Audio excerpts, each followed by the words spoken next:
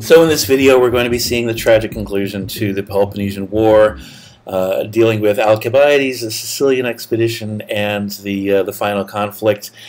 The um, the situation in Athens during the uh, during the, the truce is essentially a, a, a undecisiveness about how to proceed, and um, the Athenians are sort of um, uh, divided amongst themselves according to how aggressively to proceed, how uh, uh, how much to push, whether it's necessary to somehow go on the offensive in order to win this war, or uh, to um, to um, persist in the essentially defensive strategy that uh, Pericles had begun the war with, and so these uh, two camps are sort of represented on the one hand by uh, Nicias, who uh, engineered the, the peace, the truce that bears his name. He's, uh, uh, he's a, a refined and sophisticated uh, older gentleman who has a number of infirmities, and in particular has a very serious liver problem, but is well spoken and is, is sort of literally the voice of reason in Athens. And then on the other hand, we have Alcibiades. Um, Alcibiades is, is uh, to, to put it bluntly, a young hothead. Uh, and uh, the, the problem is that um, not only is he not only is he reckless, but he also has a great deal of influence because there's something compelling about his recklessness in a time in which you know the the the cautious approach has yielded so little results in you know close to 15 years of warfare. Alcibiades uh, represents the camp of, of uh, especially young people that want to push this war into overdrive. And uh, he has a great deal of sway uh, because you know of his own personal charms. He's uh, made himself the the darling of the nobility. Uh, he is uh, he is friends with uh, with everyone. his his charisma is such that he has been able to to draw large quantities of of influential people into his bed, both male and female. And you know, so as a result, his his uh, his his vibrancy, his his swagger, uh, his his his uh, his confidence, and his his aggressiveness. Uh, you know, seems very much like the way out of the predicament that Athens is in. He gains uh, quite a considerable following, especially among the young, uh, young Athenian men, and he's able to to um, persuade Athens to uh, ultimately uh, to to to take the next step, uh, which is to create a second front. Uh, something has to be done, something bold, something aggressive, something outside the box, uh, and this is the idea of the Sicilian expedition. If Athens can take uh, Sicily, then uh, it will be able to pursue the war from both directions, from Athens in the east and Sicily in the west. Sparta will be blocked in, surrounded, uh, and and, uh, and, and thereby uh, brought to its knees. And so. Uh, there are, you know, a number of practical problems with this, but uh, Alcibiades seems able to get away with recklessness, and this kind of you know, it's just so crazy it might work. Uh, seems like a real, uh, you know, uh, a path of of possibility when there are so few other options other than to uh, to wait for uh, Sparta to give up uh, or for some new problem to or, or solution to develop. So the Sicilian expedition is is funded uh, and established, uh, and uh, you know a a large fleet is is is is put in place with with huge numbers of of, of sailors and marines. Uh, a massive expedition is mounted because uh, Sicily is itself hostile territory. There are a number of important uh, allies of Sparta in uh, Sicily and uh, even those that are not directly allied with Sparta uh, would hold you know very little welcome to being conquered and dominated by Athens, and so. Um, you know, uh, all of, uh, of Sicily itself is very likely to be hostile to the Athenians. Uh, Athens has no colonies of its own in Sicily. Uh, Athens is not a colony maker. There's only, uh, you know, uh, the, the cleruchies it's established have been trading outposts. and the, the, the rush of colony building during the Archaic period was mostly in the hands of all of the other polis um, uh, with Sparta and Athens staying out of it. So, uh, so Athens doesn't have a real presence to, to use as a base uh, on Sicily, and uh, most of the Sicilian powers, especially the great Greek city of Syracuse, are going to be hostile. But uh, Alcibiades, uh, you know, is is convincing when he says that he can get it done. And so the Sicilian expedition is mounted. This massive uh, armada is sent to Sicily under the command of uh, uh, Alcibiades and uh, the you know the the two other uh, greatest uh, statesmen that are available as generals, Nicias and a third man.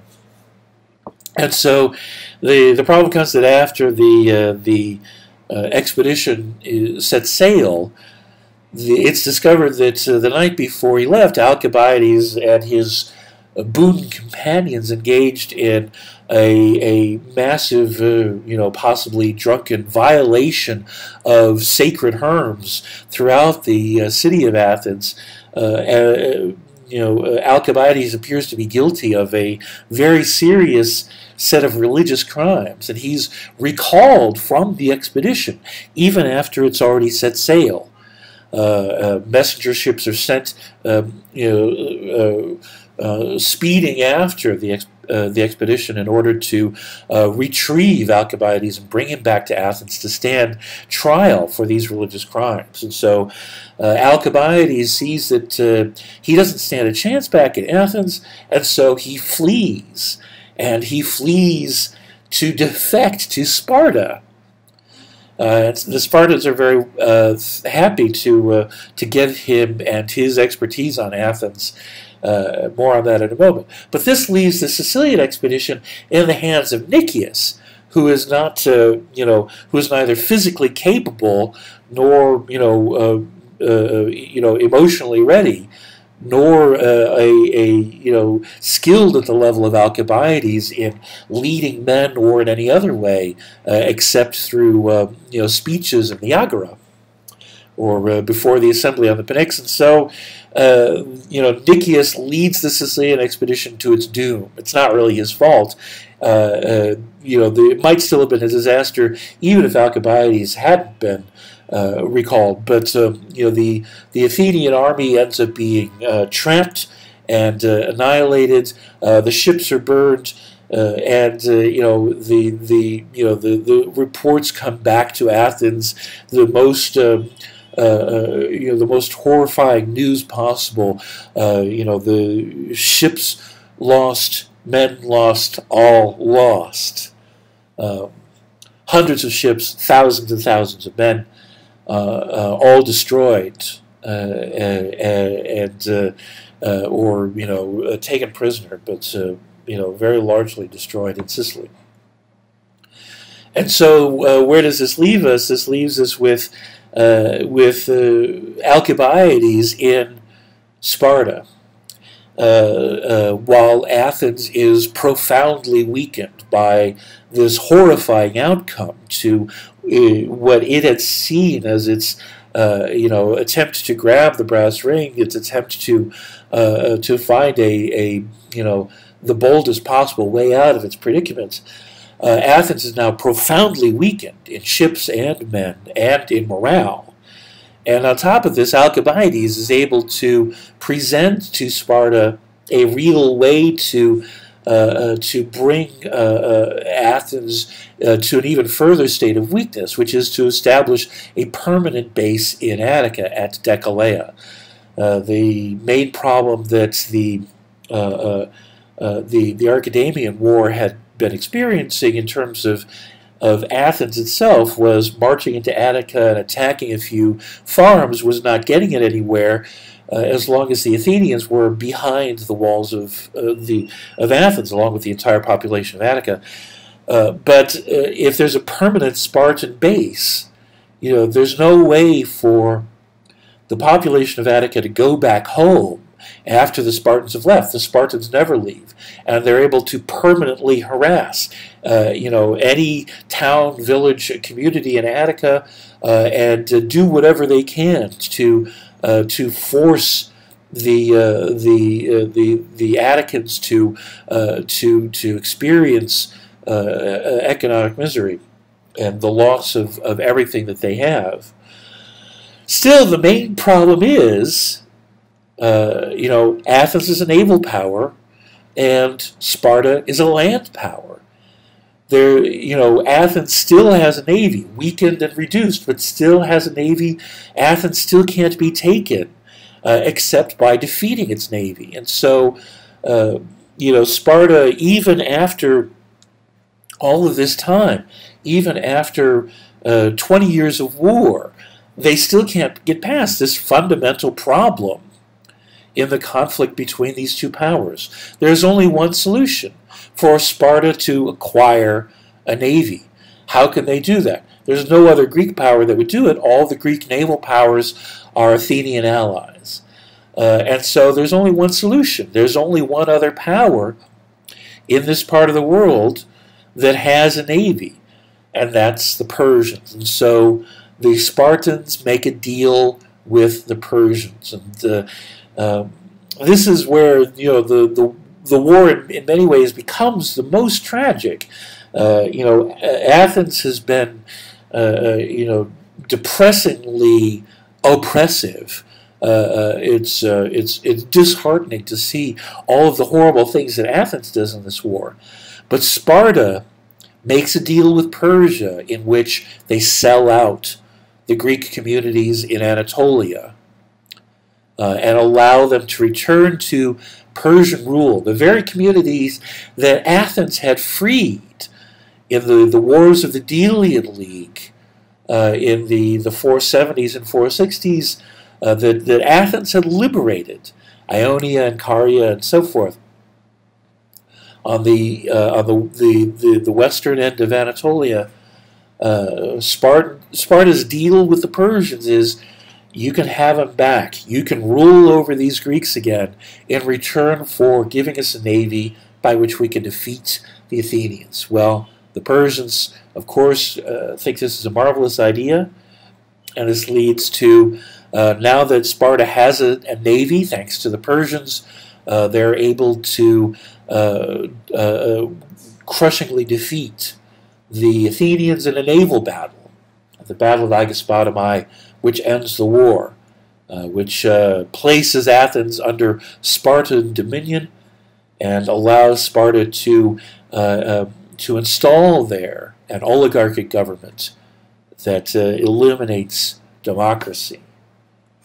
And so, you know, the, the legacies of the Peloponnesian War are, are myriads. The, uh, the, the resources of, of the, the Greek world are drained in this, uh, in this you know, the, across three decades of constant uh, warfare and conflict.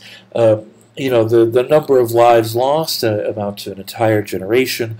Uh, the nature of warfare shifts. after this, there are um, the, the, the, the cities of the Greeks are no longer committing all of their citizens uh, and uh, risking their citizen population to fight their wars. After this, the Greek cities are relying more and more on mercenaries, uh, which uh, you know don't obviously have the same motivation as uh, citizens do, and they're relying on a more diversified uh, army uh, that includes not only the, the heavily armed hoplites, but also the more lightly armed peltasts, which uh, are, you know, both more flexible and uh, more, you know, expendable uh, than, you know, the, the hoplite soldier. the, but the, the legacy of, of disillusionment Uh, and in particular, the idea that if Sparta had won this war sort of fair and square, then this might have resolved the the the rivalry between Athens and Sparta, and Sparta would have been looked up to as uh, you know the natural leader of the Greeks. But the way in which Sparta you know sold themselves out and sold out the Greeks of Anatolia in order to win this war at any costs, especially the Spartans' behavior afterwards in uh, in treating the Athenians not like fellow Greeks, but as as conquered barbarians, practically. Um, you know, turned uh, uh, you know the, the, the Spartans into monsters in the eyes even of their uh, their their allies, uh, and uh, the ultimately it means that the Peloponnesian War settles nothing because. As we'll see, the the next several decades are spent in more wars amongst the Greeks uh, more uh, efforts to establish hegemony by uh, Sparta, by Athens, and by a new player on the scene, Thebes, that's gotten fed up with with Sparta and Athens trying to dominate them. ultimately, this is the war that breaks the Greeks.